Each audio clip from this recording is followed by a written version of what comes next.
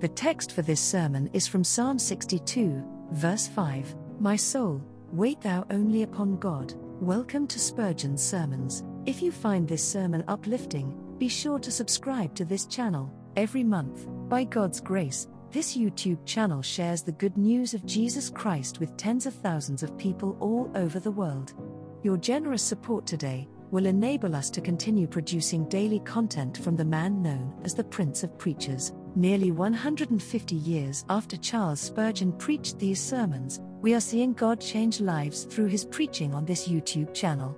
So please, give your best gift today at princeofpreachers.com to help more people discover the transforming power of the gospel.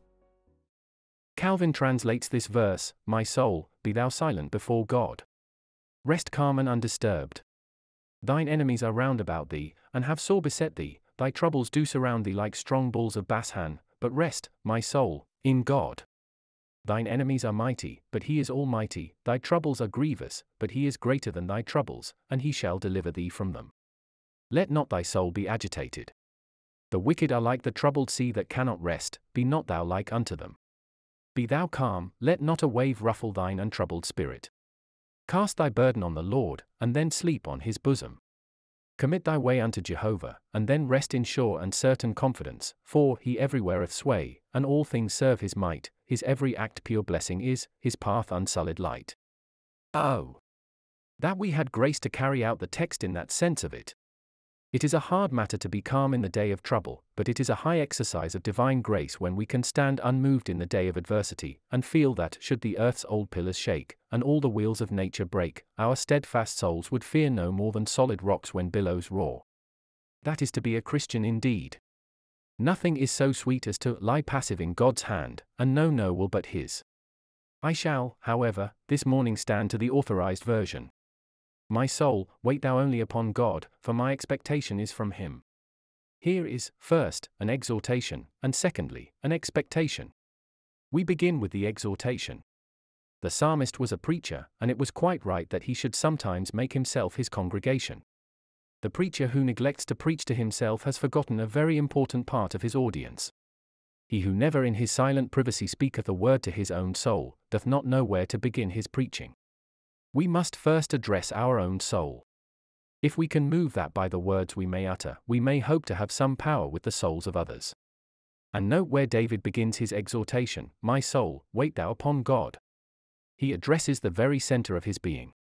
My soul, I preach to thee, for if thou goest wrong, all is amiss. If thou art amiss, mine eyes follow after vanity, my lips utter leasing, my feet become swift to shed blood, and mine hands meddle with mischief.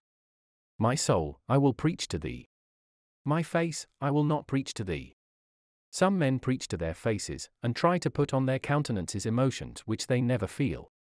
No, countenance, I will leave thee alone, thou wilt be right enough if the soul is so. I will preach to thee, O my soul, and address my sermon to thee. Thou art mine only auditor, hear what I say. My soul, wait thou only upon God. Let us, then, explain the exhortation. 1. First, the psalmist means by this, My soul make God thine only object in life. My soul, wait thou only upon God. Make him the summit of thy desires and the object of thine exertions. Oh!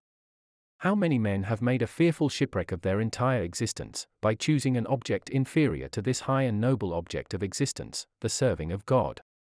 I could put my finger upon a thousand biographies of men, who after having lived in this world and done great things, have nevertheless died unhappily, because they did not first seek God and his righteousness. Perhaps there never was a mind more gigantic than the mind of Sir Walter Scott, a man whose soul was as fertile as the newly broken soil of the land of gold. That man was a good man, I believe, a Christian, but he made a mistake in the object of his life.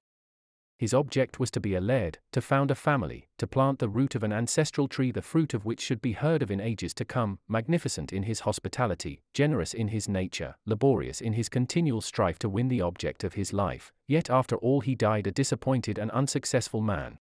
He reared his palace, he accumulated his wealth, and one sad day saw it scattered to the wind, and he had lost that for which he had lived. Had he fixed his eye upon some better object than the pleasing of the public, or the accumulation of wealth, or the founding of a family, he might have got the others, and he would not have lost the first. Oh!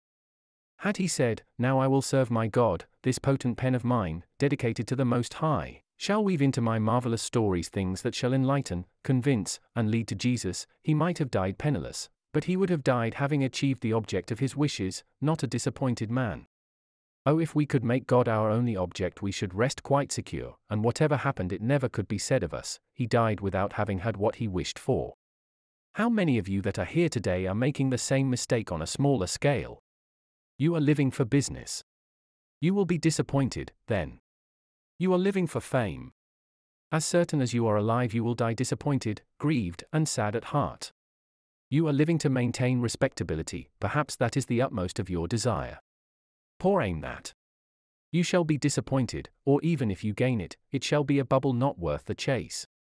Make God your one object in life, and all these things shall be added to you. Godliness with contentment is great gain. There is no loss in being a Christian, and making God the first object, but make anything else your goal, and with all your running, should you run ever so well, you shall fall short of the mark, or if you gain it, you shall fall uncrowned, unhonored to the earth. My soul, wait thou only upon God. Say, I love to serve him, I love to spread his kingdom, to advance his interests, to tell the story of his gospel, to increase the number of his converted ones, that shall be my only object, and when that is sufficiently attained, Lord, lettest thou thy servant depart in peace. 2.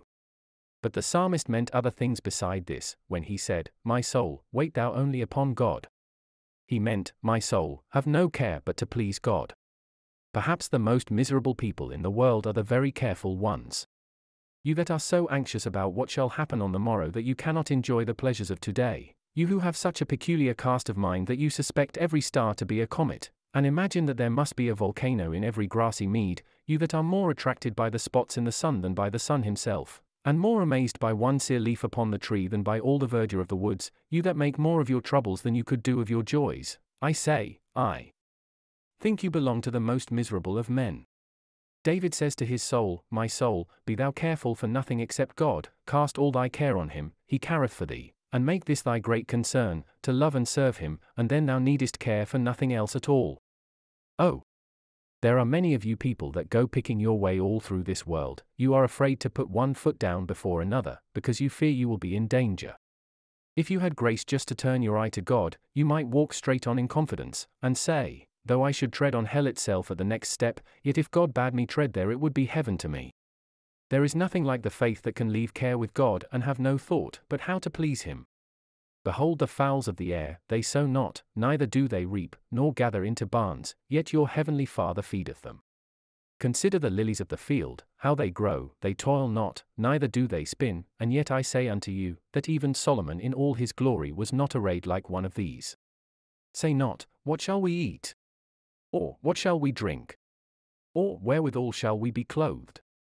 For after all these things do the Gentiles seek for your heavenly Father knoweth that ye have need of all these things. Oh, happy is the man who says, I am a gentleman commoner upon the bounties of providence. Let God send me little, it will be enough, let him send me much, it will not be too much, for I will divide my wealth with those who have less. I will trust to him. He has said, Thy bread shall be given thee, and thy water shall be sure. Then let famine come, I shall not starve, let the brook dry up, he will open the bottles of heaven and give me drink. Whatever